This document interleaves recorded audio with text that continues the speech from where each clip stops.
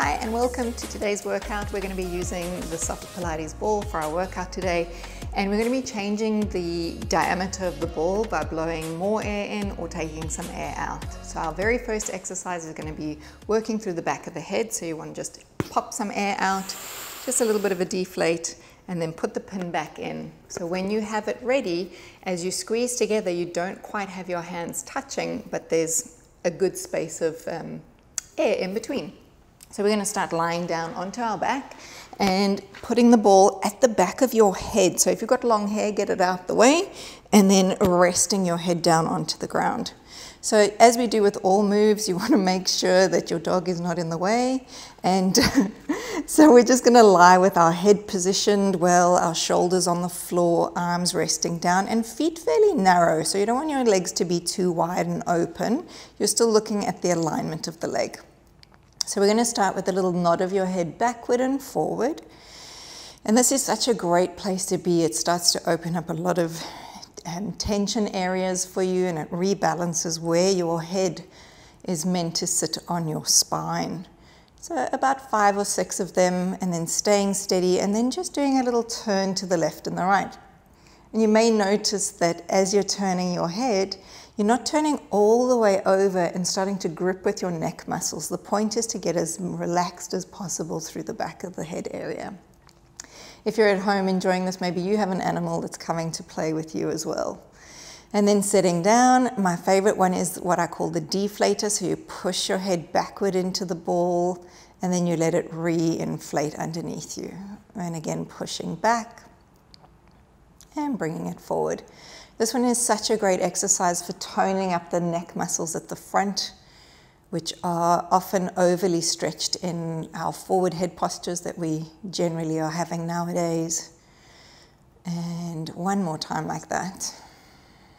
And already you'll start to feel a little bit more centered, grounded, and hopefully a little bit relaxed. We're going to finish with a circular movement. So just going through all those different ranges in a nice smooth direction around and just paying attention to if you feel any tightness or stiffness or not quite getting that circular feel through the back of the head area.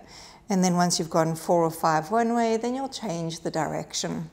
So here we don't want to spin the head off of the body. It's just a nice circular motion, getting all the way around, feeling all those different points at the back of you and then resting down and hopefully you'll find straight away that things like your shoulders have maybe dropped a little closer towards the floor line and the feelings around your jaw maybe have relaxed. And you could almost end the class with this, but as I said, we're starting with that one. So we're going to take the ball away from the back of the head now, and then we're going to have to re-inflate it just a little bit more. So blowing air in, and then repositioning the ball. So it's a little bit more full and we're going to place it behind the back of the shoulders. So the easiest way is just to roll off to your side, place it behind you, somewhere between the shoulder blades, and everybody's position will be slightly different. But you don't want to be down towards your pelvis and you don't want to be too high up to your neck. Hands are always really important to hold the back of your head for support. And we're going to enjoy stretching our spine over the back of the ball and then keeping the hands supporting the head as you roll your chest forward.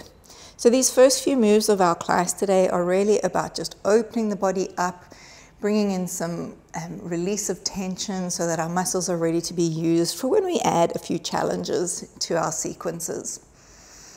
So breathing, how it works for you, but most of us will feel like we're inhaling as we're going over the ball and then exhaling, feeling that lengthening through the back of the neck and coming up. Find yourself in more of a horizontal line, and then we're going to do a side bend. So aiming your elbow down towards your hip on that same side, just getting a little bit of a side stretch through each part of your ribs. Making sure that you don't swing your knees or your hips with you, but just getting this upper body into the side bend. We're going to make that now into a movement of a circle, so rolling the head up to the side, over the back, and again around. So anywhere between three to five times, making sure that you're moving from the area where the ball is. Often we like to move from sometimes our eyes or from our head, reverse your direction around. And then again, noticing the two sides. Do they feel balanced? Do they feel even? Does one side feel easier to go to? Does one side feel a little bit less coordinated in your movement? And then finishing over the ball again. Maybe allow your elbows to come closer to the ground if you can get it there. So this next movement is going to be specifically if you can keep the head on the floor without feeling like your chin is being thrown up to the sky. If you can't, go and find a little pillow or a towel to put at the back of your head. But you're going to rest the head down and bring your arms into a right angle shape by your side. So keeping this position, you're going to slide your left arm up along the floor, keeping fingertips touching, but the elbow will lift away and then bringing the arm back down again. And then we do the second side, right side reaching out away from you and then bringing it up. As we do this, make sure that you're not pinching at the top of your neck. So you want to really feel like you're opening and lengthening down the side of your body all the way through towards your low back and then repeating on the other side. So now we're going to do both together at the same time. So if this is not good for you, then just continue with the single variation as we reach the arms over and drawing them back down again. And again, reaching the arms out and overhead. And the connection of your hands to the floor is really important. We don't want to stress the body out in this extension with the arms having to lift off. We're trying to do the least amount of effort and still feel superbly supported through the exercise. And then coming all the way back again. Collect your head with your hands, bring yourself forward, and we're going to pop the ball out from behind the back of the shoulders and rest your body down onto the mat. And again, you might find some cool things happening to your body position changing. Yes, hi. And then we're going to now put the ball at the back of the pelvis. So we're going to lift the hips up and we're going to lie on top of it with the back of the hip. So this is important that it's not in your low back and it's not too far down towards your tail. So as we're here, the easiest way to know if you're in the right position or the correct position is to bring your knees up into the air. Can you stay steady? And then if you can, that's great, but then challenge yourself to bring your arms up into the air. And if you can stay steady, then you know the ball is in a really good position. If you're wobbling about and you can't bring everything up, then you need to move the ball a little. So we'll start again with feet down onto the floor. Similar to what we did with our head position, we're gonna do our pelvis. So it's a tilting backwards and forwards action, rolling the pelvis towards you and then rolling it away from you. So just be reminded that when we move through our pelvis, our spine is going to move as well. So you'll feel a little bit of going upward and downward along the mat surface. And then we'll tilt the pelvis to the left and the right. I like to think of an image as though my pelvis was a bottle of water and I'm just pouring out into a glass next to my left hip and a glass next to my right hip. So making sure that you're not moving your knees left and right. They are moving more forward and backward. And then we'll finish with a circular motion around and around we go, like we experienced with the neck, making sure that you can feel all the edges of the circle. And then coming the other way around, noticing what that's like brain wise, checking in with your breathing. I noticed I just needed to adjust my head position. And once you're finished with your circles, resting the pelvis on top. So those were all of our releases through our spine from our neck down to our pelvis. And now we're going to bring it all together again. So we're going to bring the knees up into the air. Personally, I prefer to have my feet just drop down. That way my legs don't overwork themselves and I don't grip too much in the front of the hips. So feel free to do that too. But of course, if you want to work that little bit more and you feel like you want to build the strength there, then by all means, bringing the feet up is fine too.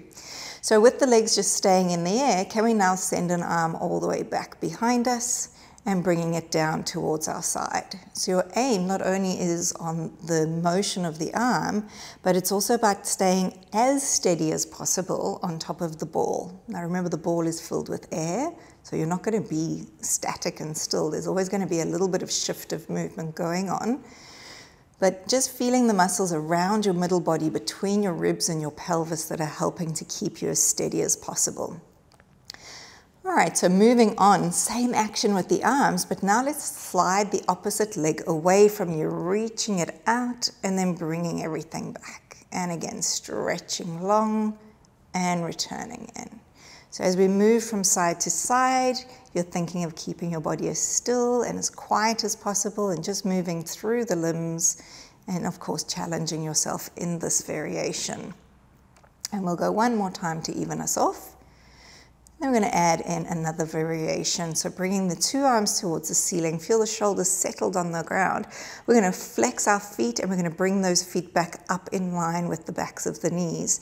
And we're going to lower the two feet toward the floor. Remember, you don't have to touch the ground. And then bringing the knees back towards you. And again, as the legs are going away, you're looking to not overly arch in your lower back and if you feel that's happening for you and it's just a bit too stressful, then do one leg at a time instead of the two legs together. And then one more time just with this. And of course, we're going to progress the movement. And as you go down with the feet, you're going to go over with the arms, reaching back and then bringing everything to your start. And stretching arms away, legs moving down and bringing it back. We've got two more to go, keeping as steady as you can. Maybe you'll start to notice one side a little stronger than the other. I'm hearing a click in one of my hips and then bringing it all the way back in. Rest the arms, rest the feet, lift the hips and put your pelvis back onto the ground. So from here, we're going to take the ball and just place it between our knees, keeping that space of hip distance apart. And we're going to do everybody's favorite, the bridge. So rolling the pelvis back towards you, peeling the spine away from the mat and aiming your knees out in front. Slowly lowering down through the backbones of the body all the way until you find your pelvis settled into its neutral.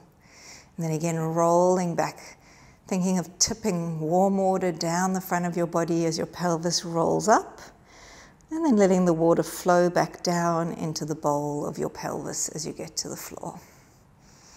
So using different images are great for making your movement feel better. And it's really cool to follow along with what my images are perhaps, but maybe you've got your own image inside and you're wanting to think of that as you're moving through your spine, getting as much mobility through the spine as possible so that you can free up all those different joints.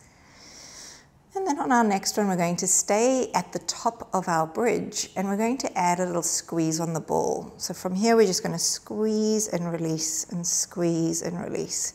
And three, four, five, and then rolling the body down. Same movement's going to happen, but to make it a little bit more advanced, we bring the arms to the ceiling, shoulders rested on the ground, roll the pelvis up into the air, pause and add five squeezes. Four, three, two, and one, and then bringing the body back down. We'll do it again. We're going to add on for a third variation. The squeezes are still five, but as you squeeze, the arms are going to widen and narrow. And two, and three, keeping the pelvis up, and four, keeping the feet solid, and five, and then rolling the body all the way back down. Bring your knees towards you, keeping the ball in position. Take your hands behind the back of your head. So keeping the shoulders down for now, elbows touching the ground if they can, and start to move your legs around in a circle. So we're just going to do three leg circles like this, letting the pelvis move as the legs are moving, and then pause and go the opposite way for three. So keeping the ribs from over um, flaring at the front of you, still feeling the back ribs in contact with the mat.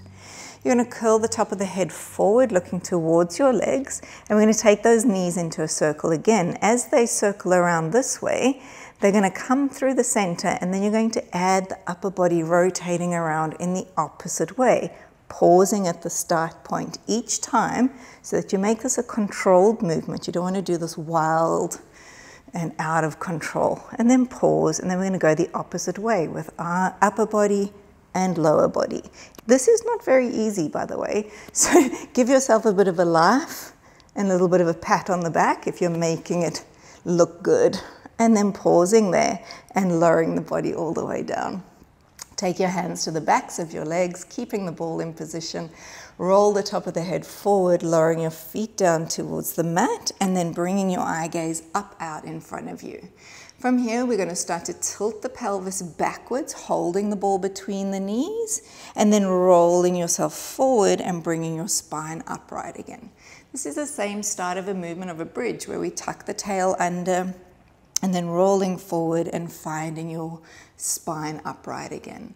And then one more just like this, a nice movement away from your legs and then coming back up. So we're going to add on a little abdominal series to this. So coming down into position, make sure you're comfortable here. And We're going to release the arms. I call this the swim series. We're going to start with a backstroke, bringing your arm around and then taking the other one back. We're just going to do three of each variation. So circling the arm without trying to take your body backward or changing your head position. So can you just move your arm in space?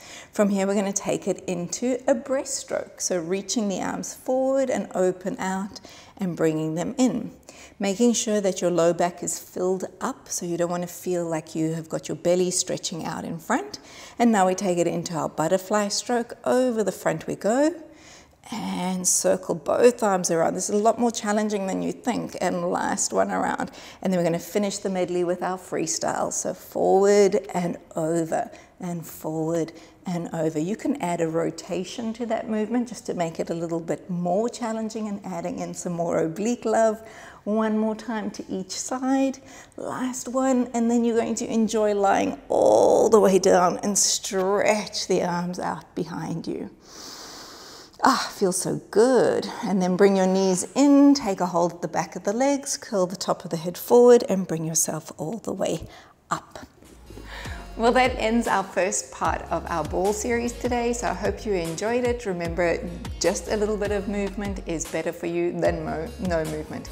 If you want to continue with the series, click on the next video.